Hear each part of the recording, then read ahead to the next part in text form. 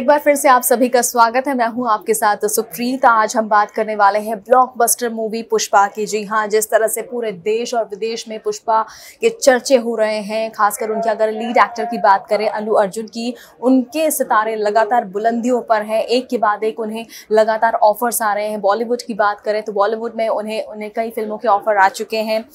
कई सितारे हैं जो उनके साथ स्क्रीन शेयर करना चाहते हैं। और ऐसे में एक और बॉलीवुड की एक्ट्रेस है जिन्होंने अपनी इच्छा ज़ाहिर की है। हम बात कर रहे हैं बॉलीवुड की नटखट चुलबुली आलिया भट्ट की। दरअसल आलिया भट्ट ने अपनी दिली ख्वाहिश ज़ाहिर की है। उन्होंने कहा है कि मैं अल्लू अर्जुन के साथ स्क्रीन शेयर करना चाहती हूँ। मैं चाहती हूँ कि फ्यूचर में मैं उनके साथ काम करूँ, उनके साथ फ़िल्म करूँ।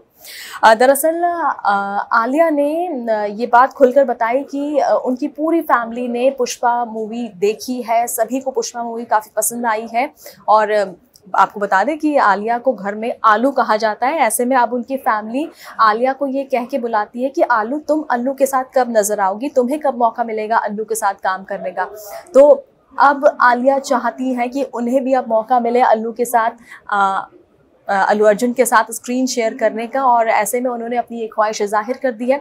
वैसे हम आपको बता दें कि इससे पहले साल 2016 की बात है, जब अल्लू अर्जुन ने एक इंटरव्यू में जब उनसे पूछा गया था कि वो किस बॉलीवुड एक्ट्रेस के साथ मूवी में आना चाहते हैं, बड़े पर्दे पर दिखना चाहते हैं तो उन्होंने भी आलिया भट्ट का ही नाम लिया था। तो आप अंदाज़ा लगा सकते हैं कि किस तरह से ये दोनों ही स्टार्स चाहते हैं कि हम दोनों एक साथ एक ही पर्दे पर बिग स्क्रीन पर नज़र आए। अब देखना है कि इनकी ख्वाहिश कौन सा डायरेक्टर या कौन कौन पूरी करता है, कौन सा फ़िल्म फ़िल्म मेकर इन दोनों को साथ बड़े पर्दे पर लेकर आता है। वैसे देखा जाए तो आलिया भट्ट इन दिनों अपनी अपकमिंग मूवी गंगूबाई काठियावाड़ी को लेकर लगातार चर्चा में बनी हुई हैं। ज़ोर, शोर से वो उसके प्रमोशन में लगी हुई हैं। इसका जब से ट्रेलर आया है फ़िल्म को लेकर लगातार क्रेज़ बना हुआ है। सभी ये चाहते हैं कि मूवी जल्द से जल्द रिलीज़ हो।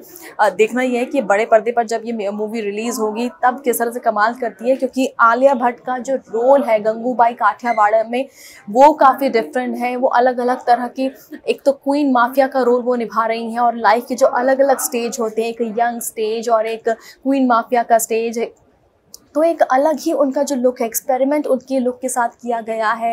एक डार्क काजल उनकी आँखों में नज़र आ रहा है, बड़ी सी लाल बिंदी और हाल में जो उनकी पिक्चर्स भी आई थी सोशल मीडिया पे, उनमें वो साड़ी पहने हुए नज़र आ रही है। अपने फ़िल्म की जो प्रमोशन में भी वो लगी हुई हैं और प्रमोशन के दौरान वो साड़ी पहनती हुई नज़र आती हैं।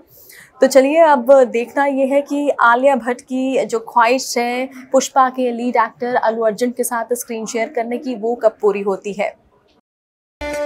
इन खबर चैनल को सब्सक्राइब करें